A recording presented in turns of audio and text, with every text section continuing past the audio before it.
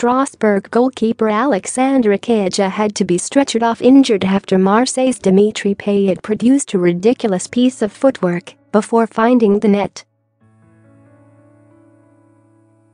In the 87th minute of Tuesday night's League One tie, Payet scored Marseille's second after former Tottenham winger Clinton N'Jie opened the scoring in the second half.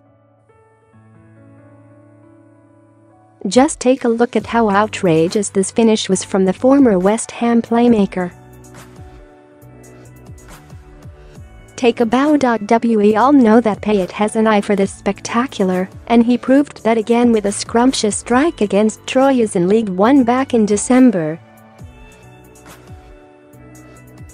The visitors, Troyes, went ahead in the 15th minute, but Marseille equalized in the 31st minute courtesy of some individual brilliance from their captain. Former West Ham man Payet drove into the box after the ball dropped to him kindly on the knockdown, and he then produced an outrageous outside of the foot strike into the top corner. Here's how Twitter reacted to Payet's incredible strike against Strasbourg on Tuesday night. Unbelievable from Payet.